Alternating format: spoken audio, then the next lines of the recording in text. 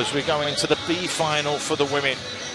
Again, this should be a very interesting one. You turn around and you look at the points that were tallied up this morning. There was a couple of 700s and a couple of big 600s. But it could go any way. From Japan will be in lane 8. Lane 1, gold medalist in the backstroke for the Para Games. 100 metres it was that she got that gold medal for the backstroke. Carmen Lim, 24 year old, will go into lane number seven. Lane two, it's the elder Spaniard, 39 year old Amanda Cordera Rodriguez will go in lane number two.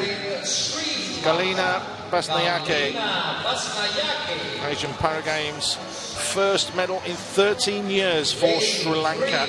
Last time out, it really was an amazing achievement from her. No high one. Again, another young Korean that's looking to try and make her mark on the scene, the 19 year old. Lili-Fox, Mason, another 19 year old, another youngster that's been called to the blocks. And Kalalova Lubinabonu from Uzbekistan will go in lane number four. She had the fastest time, but it was only 0.9 of a second quicker than Lili-Fox Mason, but there is a disparity in classes of an S13 and an S10. So again, this one should be a very, very competitive race. Definitely, yeah. I think we'll be able to see just from the points just how close everyone is. Well, the top points was 716. That was Basnayake. 706 was Lili-Fox. And then in third place with 666 was Mubinabonu. So it is very close, just 30 odd points spread and separating those athletes as they get off extremely well and they are looking to push. They get the 25 metres and there's very little to choose between the top four, five athletes. I think we can see Mubin Mubina Bonu coming all the way in front, making a quick lead coming into the wall.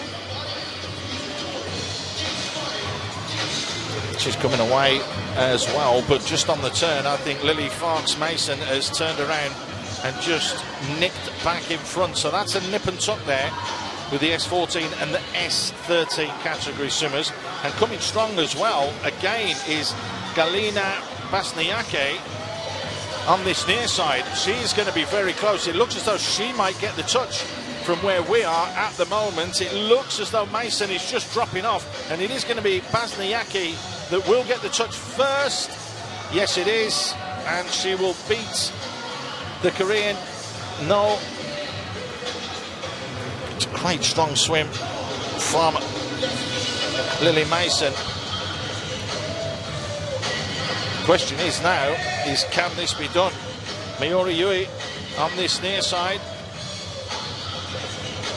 looks as though it's just going to be a little bit too much, but it is going to be the Kiwi, Lili-Fox Mason, who just nipped out Basnayake to the win.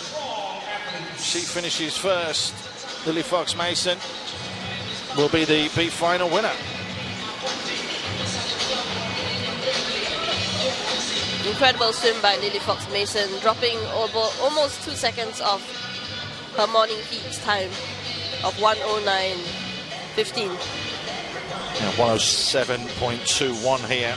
That's uh, that is a pretty good solid two seconds near enough, isn't it? But I tell you what, it was a real strong second 50 from her, wasn't it?